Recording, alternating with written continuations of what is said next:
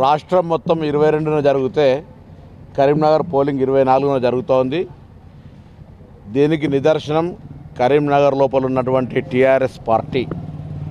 ఎన్నికల లోపల వార్డుల విభజన రిజర్వేషన్ల ప్రక్రియ లోపల అవకతవకలకు పాల్పడితే కోర్టుకు వెళితే రెండు రోజులు మాత్రమే ఉపశమనం ఇచ్చారు ఎటువంటి సరిదిద్దిన దిద్దకపోయినా ఎన్నికలు జరుగుతూ ఉన్నాయి ఈ సందర్భంగా ఇప్పుడే మా ఓటు హక్కును వినియోగించుకున్నాం. కరీంనగర్ ప్రజలకు ఒకటే ప్రశ్నించే గొంతు లేకపోయినట్టయితే అప్రజాస్వామికంగా కాంట్రాక్టర్లే కార్పొరేటర్లు కార్పొరేటర్లే కాంట్రాక్టర్గా ఉన్నారు. కాబట్టి ప్రశ్నించే గొంతుకు అవకాశం ఇవ్వండి. ఆ ప్రశ్నించే గొంతు ద్వారా ప్రజాస్వామ్యం కాపాడబడుతుంది. అవినీతిని అరికట్టగలుగుతాం. సరి అయినటువంటి మంచి పరిపాలన చేయగలుగుతాం.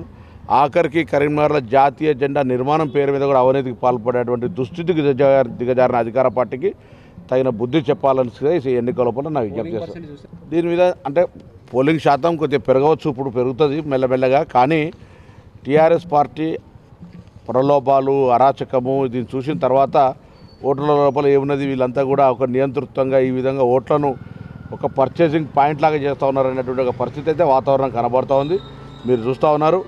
ఇలా ఈ ఎన్నికల లోపల ముఖ్యమంత్రి ఎందుకన్నాడో తెలియదు కానీ మీరు మీ స్థానాల లోపల చైర్మన్ మేయర్ పదవులు గెలవకపోతే మీ పదవులు పోతే అనగానే గుట్కా మాఫియాల్ని శాండ్ మాఫియాల్ని డ్రగ్ మైండ్ మైన్ మాఫియాల్ని ల్యాండ్ మాఫియాల్ని కాంట్రాక్టర్లను తీసుకొచ్చి కొత్త కొత్తగా వాళ్ళందరూ కూడా అభ్యర్థులు చేశారు లక్ష రూపాయల ఖర్చు లక్షల రూపాయల ఖర్చులు చేసి ఈ ఎన్నికల గెలవడమే ధ్యేయంగా పనిచేస్తున్నారు. ఇది ఒక దురదృష్టకరమైనటువంటి వాతావరణం.